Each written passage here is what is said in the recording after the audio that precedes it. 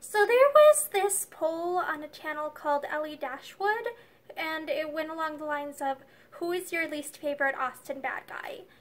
And it kind of made me realize something that I didn't realize when I first, like, when I first read Pride and Prejudice, because if I remember right, I saw, um, the Keira Knightley adaptation of Pride and Prejudice when I was pretty young, like I don't know if I was like 12, 13, 14 or somewhere around that age range. I don't remember off the top of my head now.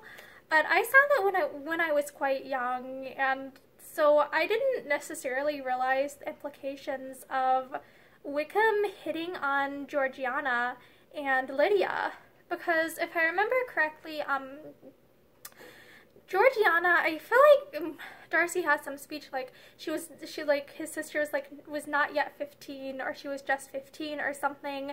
So she is some when Wickham is hitting on her, she's somewhere around like 14, 15, 16-ish.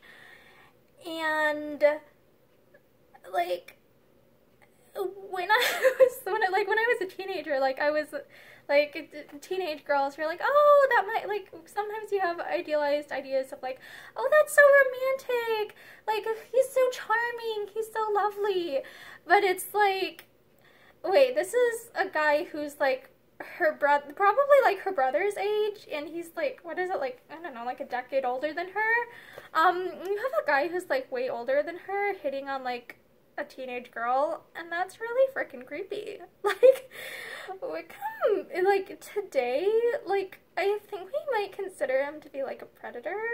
Like, it's, Wickham's, like, a lot worse than, like, I even thought, like, when I was first introduced to Pride and Prejudice. And then too, like Lydia in this series, she's the youngest of five daughters. And I remember from some conversation with like Catherine de Bourgh that Lydia that Lizzie was having that like she's Lydia's not like Catherine's like surprised that like all five of them are out in society at once because typically, if I'm understanding correctly, you'd only have like the older sisters out in society, and Lydia's like she's also a teenager, isn't she? Like maybe 16 because I remember some line of like married and only like 16 too or something along those lines where it's like we know that Lydia is like somewhere between like 15, 16, 17 when the series is going on. How old is like how old is Wickham? like if he's like um, older than her, that's really kind of creepy.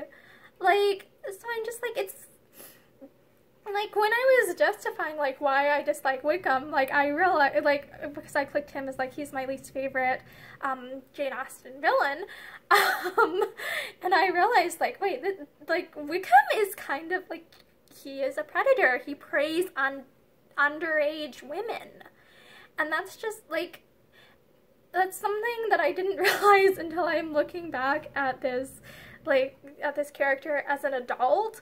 Like because when you're like when you're a teenager you don't necessarily realize just how creepy it is for older men to be hitting on women that age because they're still like in a lot of ways like teenage girls are um like don't necessarily have the ability to give informed consent to that sort of relationship. And so it is like what Wickham is doing is just like really extra creepy. And I'm just like Wickham is like such a freaking sleazeball and I just want to say like Wickham is awful and I didn't like realize just how awful he was until now. Um, just that's just something to think about. Thank you and have a nice day.